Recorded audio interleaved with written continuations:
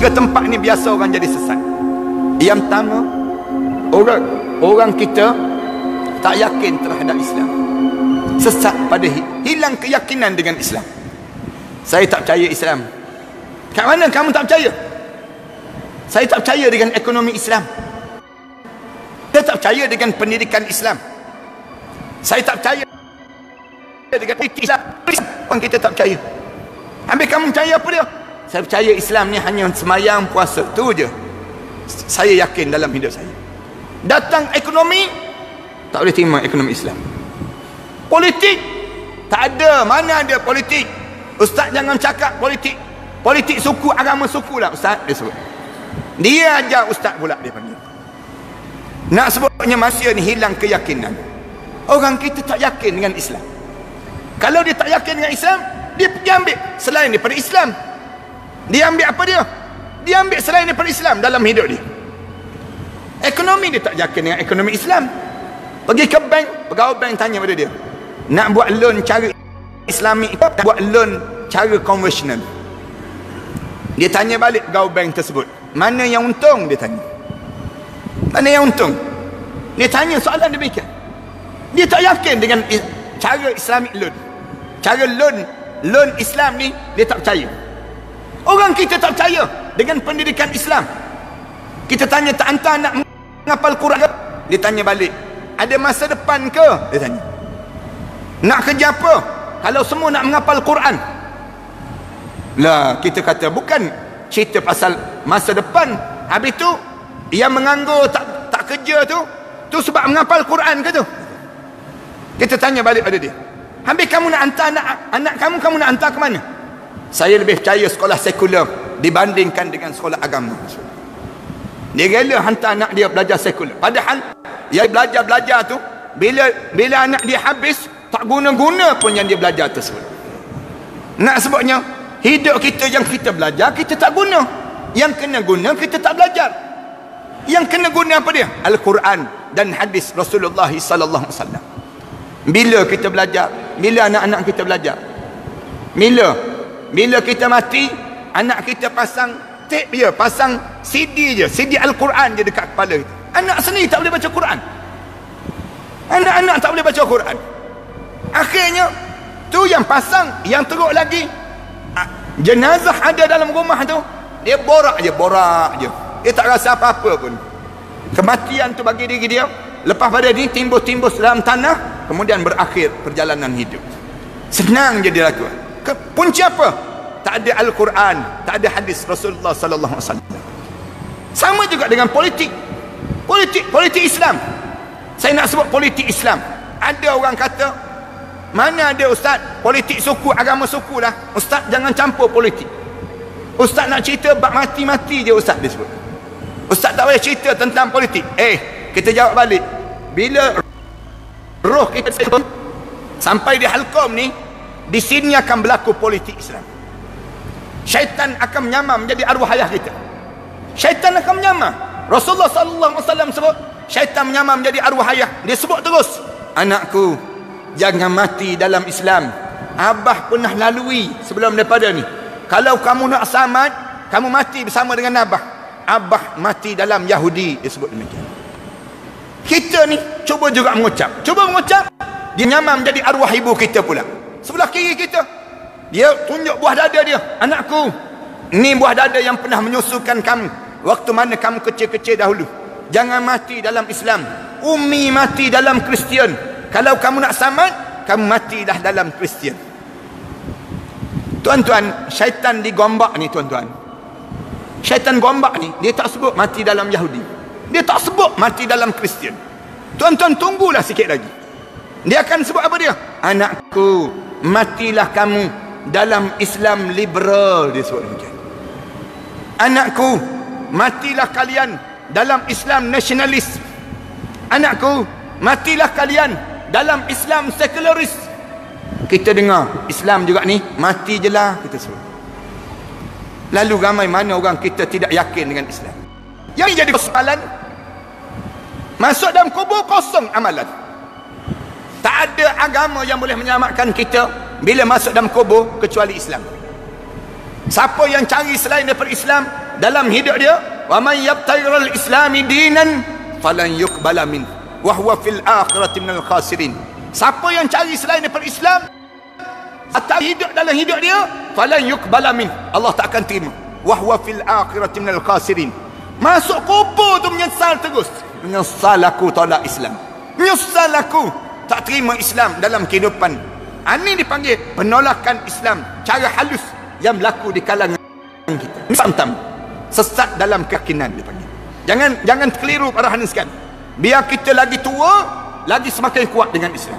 Lagi tua lagi kita soleh dengan agama. Ni tanda kita ni tak sesat pada kita. Yang kedua sesat kat mana? Sesat dalam dalam ibadah. Dalam ibadah kita sesat macam mana kita sesat dalam ibadah? Cuba betul terang ayah-ayah dan ibu-ibu. Semenjak ayah-ayah ibu-ibu salat berapa kali ayah-ayah ibu-ibu salat tengah tegak berdiri menangis teresak-esak menangis teresak-esak tengah kita rukuk menitik air mata. Tak tak tak menitik air mata. Tengah kita sujud menangis teresak-esak kita. Basah tempat sujud kita. Berapa kali dalam hidup?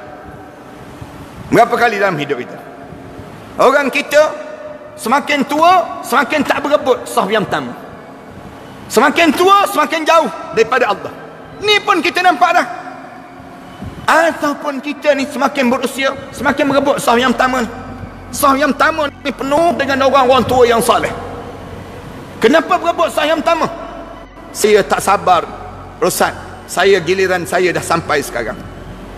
Saya dah hampir dah tak sesat kan dalam hidup tak sesat dalam hidup.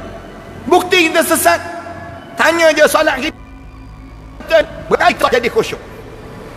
Jadi khusyuk dalam solat kita. Kenapa tak khusyuk? Berapa lama dah kita solat? Dalam hidup kita. Semenjak daripada usia 13 tahun semenjak usia 9 tahun kita akan balik kita tak pernah tinggal solat kita.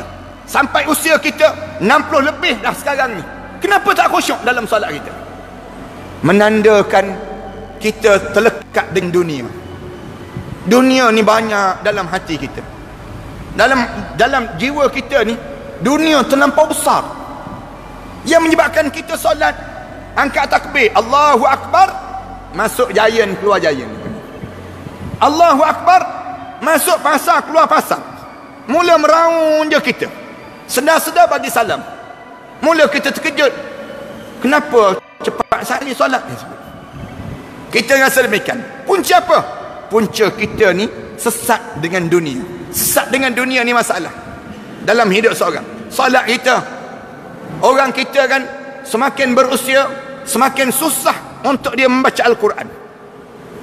Ayah-ayah cuba tanya ayah-ayah ibu-ibu.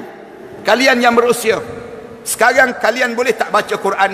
Sehari boleh khatam tiga sehari khatam sehari kita boleh baca sebanyak 10 juzuk Al-Quran Karim boleh baca tak? boleh kita. Kita jawab tak boleh Ustaz. 10 juzuk. 10 muka pun susah satu muka pun susah. Kenapa susah? dulu kita beralasan dulu kita beralasan kerana kita banyak kerja kan? Sekarang kita dah tak kerja kan? Umur 60 tahun. Mana masuk jabat dah pun? Umur 60 tahun dalam hidup kita kita buat apa dalam hidup kita? 6 tahun dah hidup kita. Kita ni umur 60 tahun. Kalau pergi ke pejabat pun orang halau balik dah dia panggil. Balik-balik pakcik dia sebut. Tak payahlah datang. Kita buat apa dalam hidup kita sampai tak boleh baca Quran? Kita jawab baca whatsapp lah ustaz dia sebut. Saya ni baca whatsapp je tiap-tiap hari. Tiap-tiap hari update facebook. Tiap-tiap hari baca Instagram. Tiap-tiap hari hidup dalam keadaan membazir masa kita. Kesesat dalam hidup.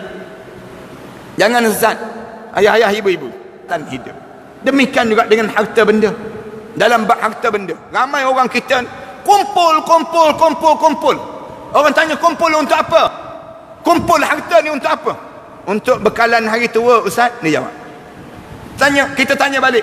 Sekarang tak tua lagi ke? baru nak tua Ustaz dia baru nak tua eh Islam suruh kumpul untuk hari tua ke hidup ni cari-cari harta ni mengumpul untuk perut kita ke tak kumpul hidup kita ni kumpul harta untuk ke syurga Allah ni konsep dalam bab harta Jangan menyimpan, jangan. Ramai dah orang yang simpan menyesal. Jangan, jangan simpan. Untuk dunia ni, belanja, belanja untuk apa dia? Belanja untuk akhirat. Pantang dengar ada orang yang perlu bantuan. Kita je bagi, bagi, bagi, bagi. Jangan simpan. Bila kita simpan, nanti kita akan menyesal di hadapan Allah. Bila kita bagi, maknanya kita tukar daripada nilaian harta kepada nilaian pahala. Bila sampai di akhirat nanti, kita berjumpa balik dengan apa yang telah kita bagi. Ini konsep dalam bab harta. Orang simpan, simpan, dia kata, simpan untuk apa? Nanti pencin balik kampung, kita buat rumah besar. Untuk apa rumah besar? Di saat mana dia sudah berusia dalam hidup dia. Anak-anak dia pun tak nak tinggal dengan dia. Anak-anak dia dalam, ada kehidupan tersendiri. Siap dia rumah besar, beli kereta besar. Tak puas hati lagi, kahwin isteri besar pula dia. Masuk rumah besar. Seminggu je masuk, meninggal dunia. Meninggal dunia. Dah kereta baru dapat pada isteri baru. Isteri baru pula habis je indah, kahwin dengan suami baru. Suami baru pula petang-petang bawa round kereta kita ni dekat kubur kita. Lalu saja kita pun memandang dalam kubur macam-macam je kereta ni kita sebut.